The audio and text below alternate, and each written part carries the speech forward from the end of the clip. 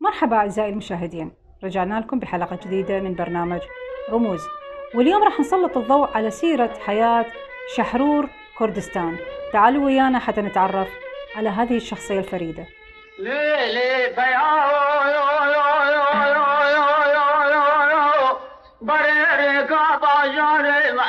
بدري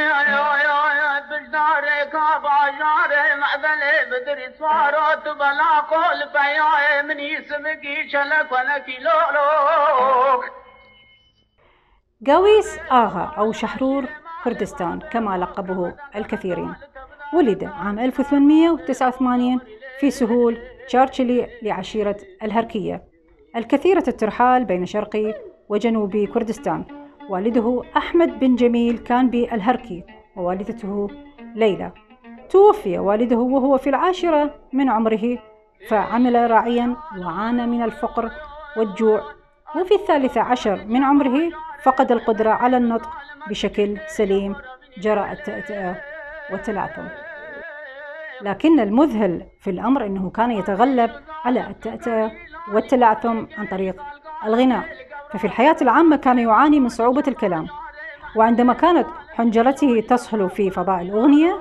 كان يبدو إنسانا سليما دون أي اضطراب في الكلام.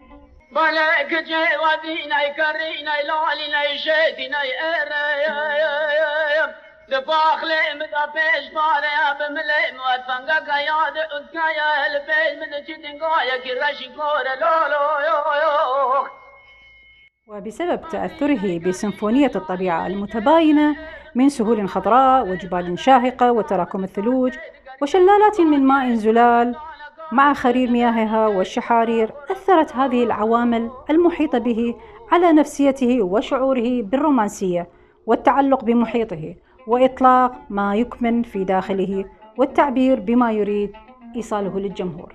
وقد يسأل المشاهد يا ترى لماذا لقب بشحرور كردستان. لقب بشحرور كردستان لفرادة صوته وإضافته العديد من المقامات والأغاني الفلكلورية النادرة للأغنية الكردية.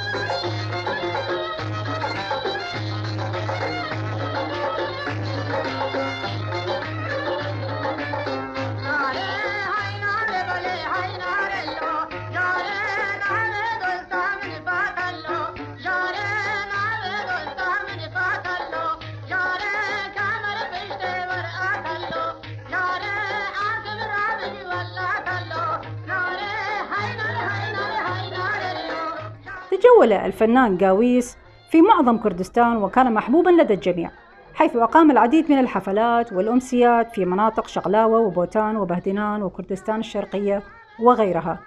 بدأ مشواره الفني في الأمسيات وديوان الأغوات تميز بغناء اللاوك وهي أغاني المقاومة والحرب. تقلد اسم قاويس آغا من قبل كرد بهدنان الذين كانوا ينعتون الأكبر عمرا بكاك. وهذا مبدأ التقدير والاحترام. وعندما تقلد ويس منصب الفن أصبح اسمه كاك ويس. ومع مرور الأيام اختصر اسمه إلى كاويس بينما أضيفت كلمة آغا إلى اسمه من قبل إحدى شركات التسجيل تكريما له. أما ما يخص حياته الشخصية فقد تزوج من أمينة محمود. شريف وله منها الأبناء أحمد ومحمد وعبد الله وجميل مامر مامر لي مامر مامر دريانا دل مامر مامر دريانا ودل مامر ولد بنگا بابا بحيرانو كانت معظم نتاجاته الفنية باللهجة الكرمانجية الشمالية التي تتميز بالأصالة والشعبية الواسعة. لم يكن قاويس مغنيا فقط بل كان شاعرا مرموقا لطالما أطلق قصائده في مقاهي أربيل المعروفة لاحقا عام 1930 توجه إلى العاصمة العراقية بغداد حيث شركات بيزافون نايف ونعيم لرغبته في تسجيل كاسيت. ومن ثم سجل العديد من الأغاني والمقامات في تسجيلات بيزافون ونايف. والتقى بالشيخ محمود الحفيد مرارا وغنى لثورته. في عام 1935 أقام حفلتي سمر بمقهى علي شكاك في قضاء رانيا وحفلة أخرى في دار القائم مقام جلال صائب وتم تكريمه من قبل القائم مقام ووجهاء رانية ومن أهم نشاطاته التي حصلنا عليها في القائمة من لاوك هي شيخ محمود وإسماعيل آغا ثورة بارزان الثانية مير بنجو بابي بعبد الكريم قلي خشكاني شرتر ويونان بابي سليك وغيرها.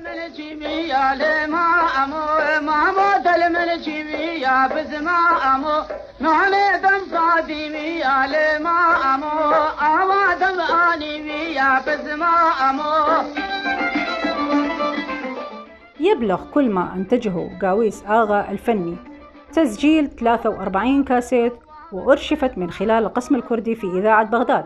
وتكريما له أسدل الستار عن تمثاله في شقلاوة من قبل وزير الثقافة السابق في إقليم كردستان العراق فلك الدين كاكاي. في منتصف شهر شباط 1936 وفي زيارة لقرية هرشم أصيب قاويس بوعكة صحية وهناك رحل عن وجه البسيطة ودفن فيها في ليلة ماطرة. تاركا حنجرته في جعبة الذاكرة الكردية بكل قوة ليدفن جثمانه في مقبرة هرشم. هذا